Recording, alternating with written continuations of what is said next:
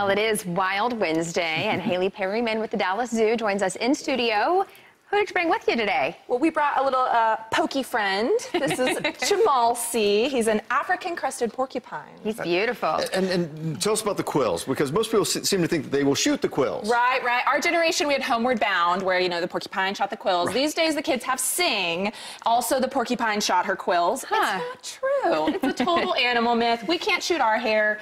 They can't shoot their hair. Same thing. But it's interesting, you said that they can run as fast backward as they can forward. Absolutely. So porcupines, when they feel threatened or African cresteds, they'll flare their quills. So it's kind of like goosebumps on demand. Mm-hmm. And what they'll do is they'll run backwards into their predator and get lots of quills stuck into that predator and make their escape. Interesting. All right, tell us about swing break real quick. That's right. It's Swing Break at the Dallas Zoo. It's our primate themed take on spring break. So we're raising money for chimp conservation, the endangered chimpanzee. We're hoping to raise $14,000 to send to the Jane Goodall Institute to help save chimps from illegal illegal wildlife trade and the bushmeat industry. Wonderful. Thank you.